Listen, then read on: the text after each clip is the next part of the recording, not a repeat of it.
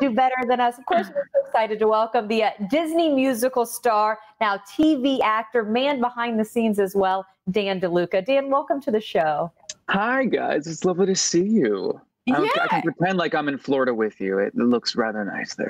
I'll just pretend that I'm with you, drinking my Tampa Bay morning blend here. Yeah. I love Oh, I love it. Dan, give us a little background about you and kind of uh, what you were doing up until these uh, crazy times, this crazy year of 2020, and how it's kind of making us all think a little differently and create content a little differently.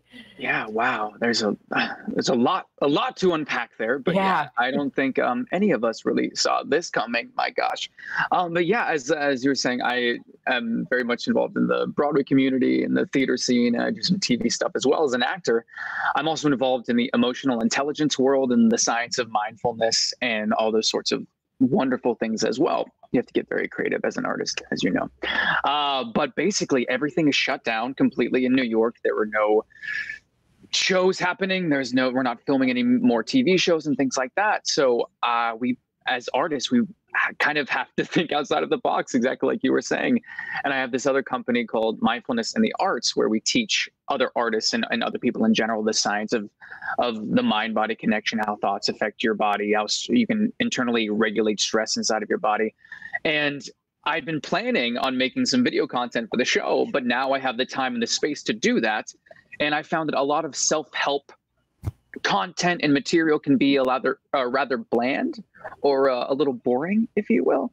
So I wanted to use all of the all of my expertise um, in entertaining people and trying to make this self help world a little bit more engaging and a little bit more entertaining by using um, musical like musical numbers and puppets and animations and other Broadway friends and TV actors and things like that to make this world a little bit more accessible because we need it during these times. We we need to learn how to regulate our stress and learn about the Well, science. that's what I was going to ask. What's the goal? Like when people watch the show, when they kind of, what's their takeaway that you hope they get from it?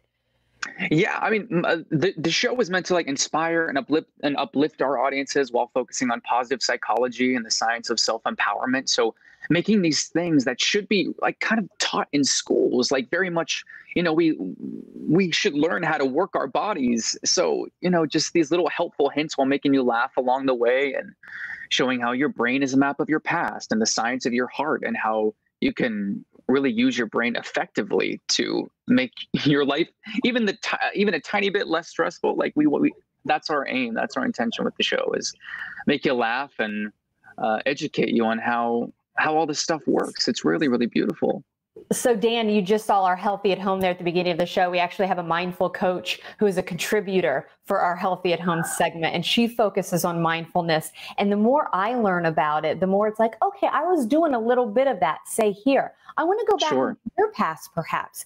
I'm assuming you had to use a little bit of, in the Broadway world, and maybe you didn't realize it was actually part of this mindful approach that people are starting to take and you're talking about in your show.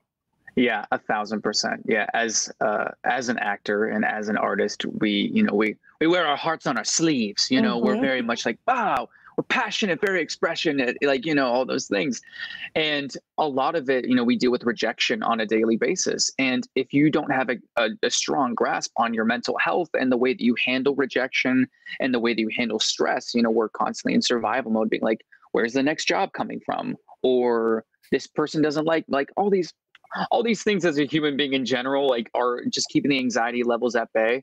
So i really you know i'm all about you know positive thinking and i was all into self-help books but i really needed to see the science of how it all worked. I really needed to see the data.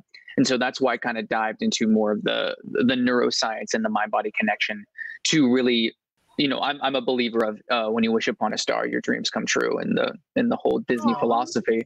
But i wanted to know the science Yeah. behind it because i was like i know this is true i know this can happen but show me the science and so now we're showing people the science of how to do that in a, in a new entertaining and fresh engaging way so well, as we get ready to wrap up here, what is your pointer? Is uh, you know, I think a lot of people in this time in this crazy world we live in are battling anxiety. They are battling depression. They are. These are. yeah You know, I, this is a.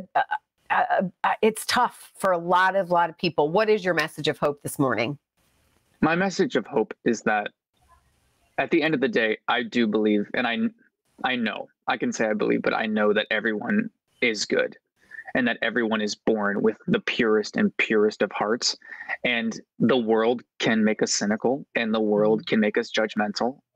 But you know, as they say on planes, you have to put your ox- your oxygen mask on first before you help the person next to you. If we're able to take a little bit of time for ourselves and really focus on what's happening in here, you can't pour from a cup that's half empty or, or that's empty. We have to fill ourselves up first. And educating yourself on how you work and how all of this wonderful mind- mindfulness stuff works. It's it's really beneficial and it affects every part of your life. So Great. Dan, yeah. you're awesome. We're out of time. You're People awesome. can go check out your your website. I know for this great content. And uh, let's let's check back in soon, okay? I would love that. Thank you guys for having me. Lovely to see you. Stay in touch, okay, Dan? Will do. Have I a good one, guys. Yep, there's the website too, so you can check out the show. And uh, we hope you stay right here because our show will continue after the break.